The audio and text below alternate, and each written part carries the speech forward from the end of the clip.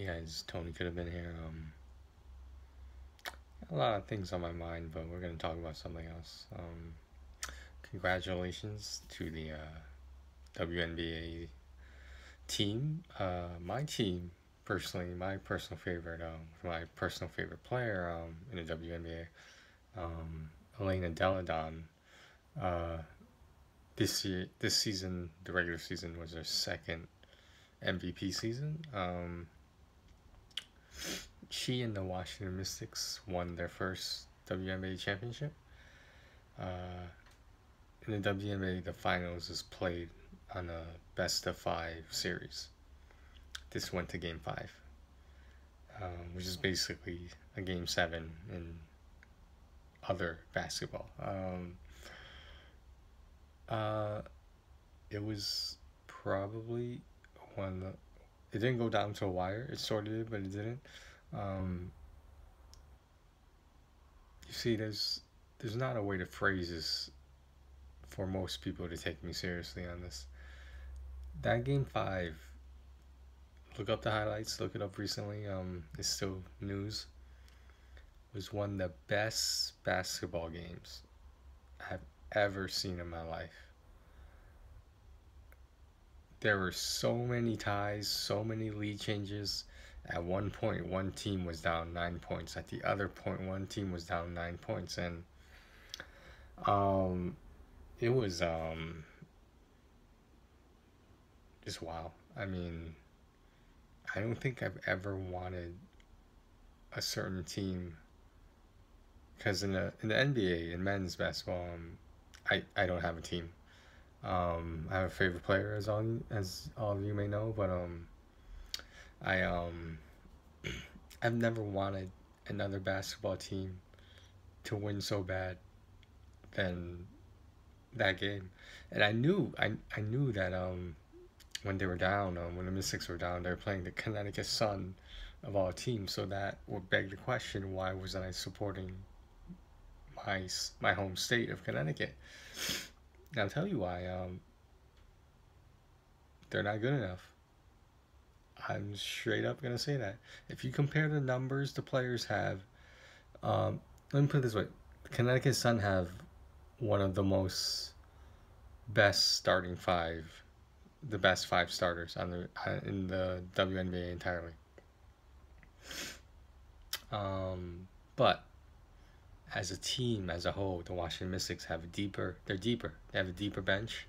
They have um, they're able to manipulate their starting five to fit different situations. That's what you want. Um, but um, uh, that was just a prequel to what I wanted to talk about. Sorry that took so long, but um, uh, this video is called "Why I'm Not Playing NBA 2K20," or you know some variation of that title. I haven't decided. Um, so I will give uh, 2K props on this point. I'm going to read you a quote. So, NBA 2K20 has the ability to play as any WNBA team of the the WNBA currently has 12 teams across the nation.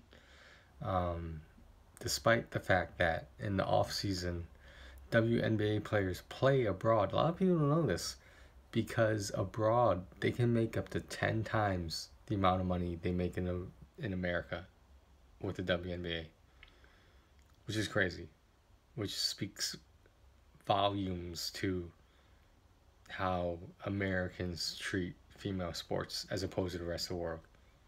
I'm just saying that's that's not a diss on America. That's a diss.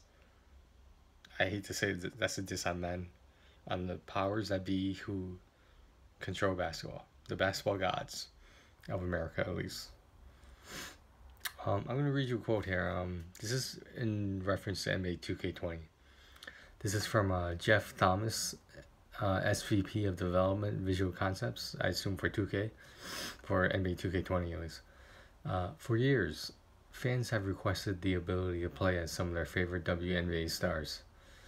We've been working with the WNBA and their top players to recreate a hyper realistic version of their league with pinpoint accuracy. We're excited to roll out this new feature in NBA 2K20 because we know how important the uh, WNBA is to the world of basketball. So you know, um, yeah, um, you know, props to them. Yeah, sure. But um, no, no, no disrespect to them because that's it's a noble move. Um, but the reason I'm not playing 2K20 not only is it because the main complaints like regurgitation in the same game, uh, it's pay to win basically because if you have the money, the moment the game is released, you can just buy your stats to get you to like 80, 90 overall. And when you consider 99 overall is the max a player ranking can be,